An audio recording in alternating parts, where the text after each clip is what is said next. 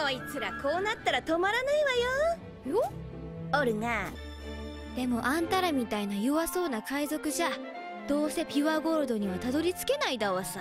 それなら保証書付きよ。ほらふんだわさ。全部聞こえてるわよ。よ？オルガがアルケミまで案内してくれることになりました。でもこの子最後に裏切るつもりだから気をつけてね。あアルケミへのエターナルポースでも持ってるのか？これだわさ。ちょっと見せてくれよ。ダメだわさ。こんなところで光らせた。何の気配だ？ちしつこい男は嫌いだよ。知ってるのか？お宝を手に入れるためには。何でもするトレジャーハンターよ。ル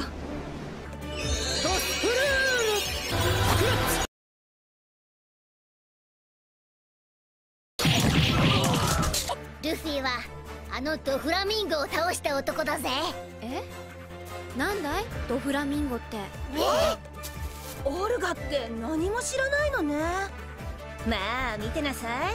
私たちと冒険した方がお得ってわかるから。あんたなんかはごめんだよ。嫌いなんだよ。下品な男は。あ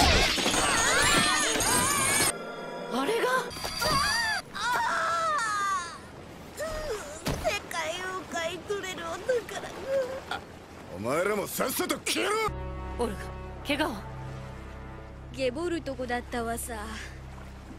よあれが巨大な提灯あんこフランキーフードバーストで緊急離脱。あ逃げちゃダメだわさ。ピュアゴールドはさっき海に沈んだんじゃ。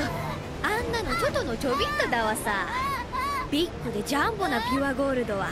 ビッグでジャンボ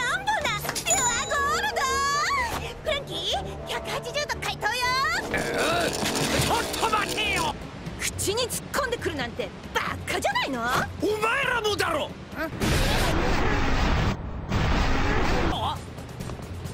大きいわね。あいつのどちんこに私たちを激突させるつもりだわ。ナイスルフィ